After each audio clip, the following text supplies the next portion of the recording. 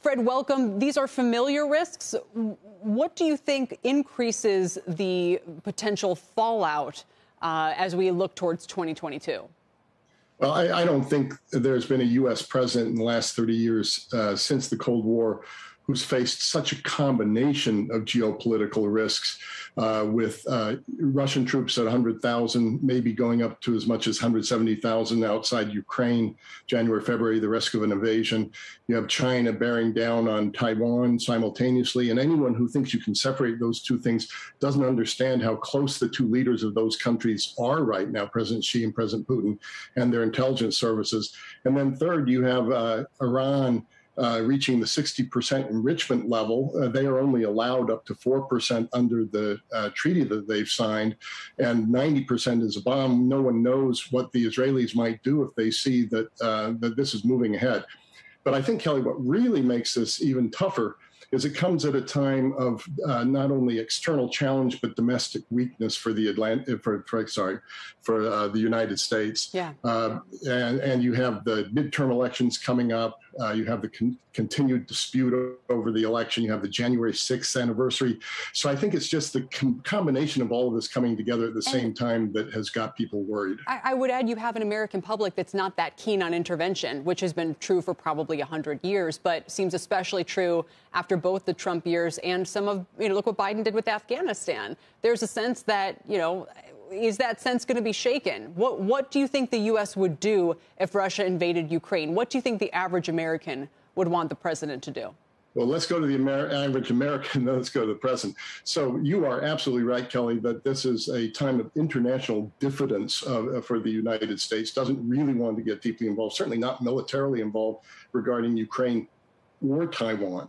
Uh, and, uh, and our adversaries know that. And Afghanistan, for them, uh, whether they're reading this right or not, they see this as a, as a sign of U.S. weakness. And they see as a sign also that the Biden administration is very focused on its issues at home, which is understandable. But this might be, that could mean that 2022 is a rare moment for President Xi on Taiwan and President Putin uh, in Ukraine to get what they really want for their legacy and, and, and, um, uh, and, what can we do about it? Well, I think the administration is acting wisely in terms of uh, diplomacy.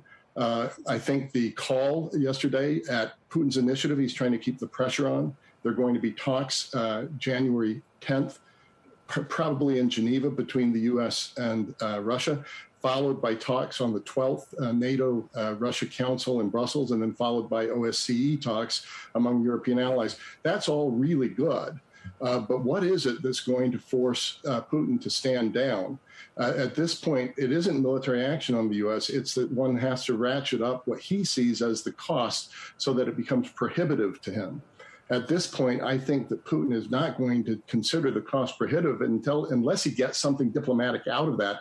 And we can't give what he wants, which is a promise that Ukraine would never come into NATO, uh, and a promise that we would never expand NATO further into the region, because of course we believe that's the sovereign choice of individual nations. Hey, Fred, certainly a lot of conflict here. You uh, compared the situation with uh, China, Russia, and Iran to a Gordian knot. That's a metaphor that usually implies some type of bold action needs to be taken. So, is there a bold action that President Biden can take here? And does he have the political capital in D.C. to take action?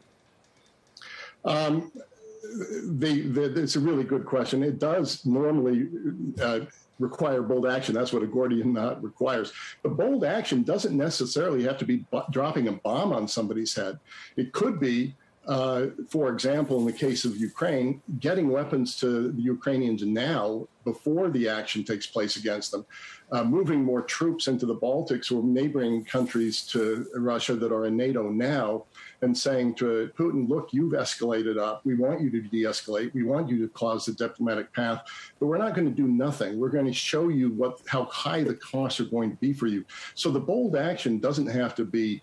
Uh, military response, which is not going to come, but just really signaling that there are uh, actions, sanctions, and otherwise that are just going to be too high for you to bear, and making that clearer with allies in coordination, uh, you know, uh, to the extent one can, while not being able to lie to the Chinese or the Russians that we ourselves are going to take some military action because, uh, as Kelly was indicating, the U.S. people wouldn't be behind that. And I think this administration has made clear that that's not in the cards. And I wonder on the China front, Fred, if they wouldn't just wait the situation out. They seem to anticipate the U.S. becoming weaker uh, financially, militarily. Why make a move on Taiwan now if they anticipate it could be easier in five or 10 years? Uh, I think that's right. Uh, the other thing, look at China's year. They have the Winter Olympics coming up. They certainly don't want any trouble before that.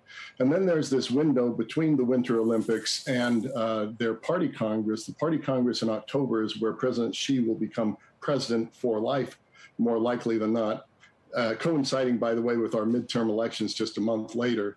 And I think a lot of people are seeing uh, uh, the moment of danger coming after the point he becomes president for life, but certainly not before um, before the Winter Olympics. Uh, and he may not have to take military action. Uh, I think the Chinese have a lot of different ways to apply pressure on Taiwan uh, over time. What he doesn't want to see is anything moving in Taiwan that looks like a permanent form uh, of, of independence or sovereignty. All right. Shepard Smith here. Thanks for watching CNBC on YouTube.